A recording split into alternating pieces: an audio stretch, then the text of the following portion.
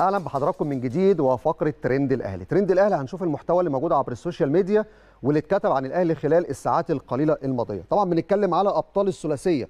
الأهلي حاليا دخل العالمية وبيستعد لبطولة كأس العالم للأندية فبالتأكيد في تفاصيل كتيرة.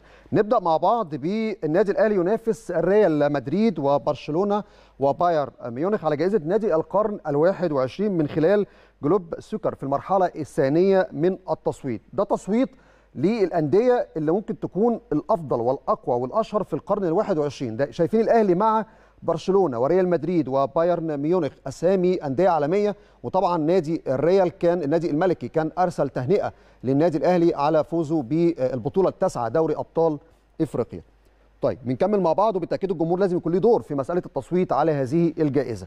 الصفحة الرسمية لفي الجول على الفيسبوك كتبوا كبير أفريقيا ينافس كبار العالم على لقب تاريخي رسميا الأهلي ينافس برشلونة وريال مدريد وبايرن على جائزة أفضل أندية القرن ال21 من خلال Globe Soccer للتصويت على الجائزه في link موجود للتصويت على الجائزه وده لقب تاريخي جمهور النادي الأهلي هيكون شريك أساسي في حصول النادي الأهلي على هذه الجائزة الكبيرة.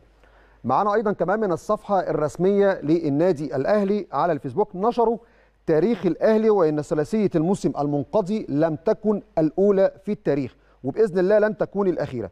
فبلوغ منصات التتويج عدة مرات في الموسم الواحد عقيدة تاريخية تتوارثها الأجيال لدى أبناء القلعة الحمراء. الأهلي البطل التاريخي للكرة المصرية والأفريقية وقدامنا الثلاثيات اللي اتحققت.